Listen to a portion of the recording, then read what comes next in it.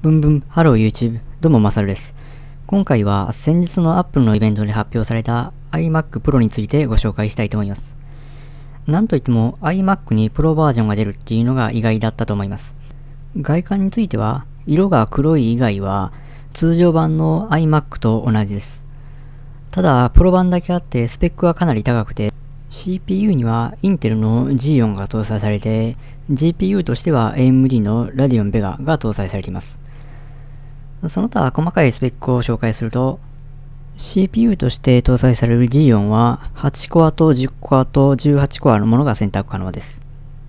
それからメインメモリですけれども 32GB が標準でオプションとして 128GB が選択可能です。ストレージは 1TB の SSD が搭載されていて、こちらはオプションで 4TB の SSD に交換することが可能になっています。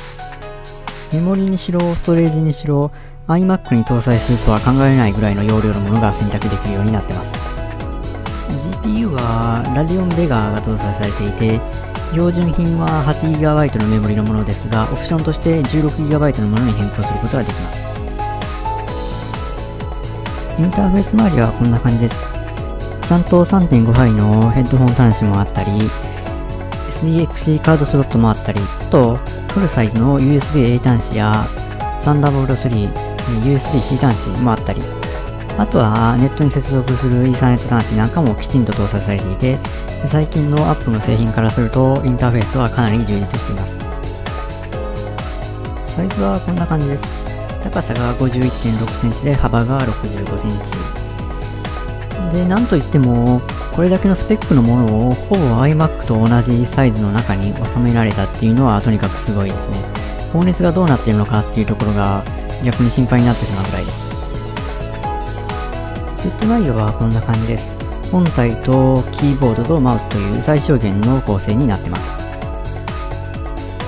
OS は最初から最新の MacOS High Sierra が搭載されます。ですので購入した後でアップデートする手間は必要ありません。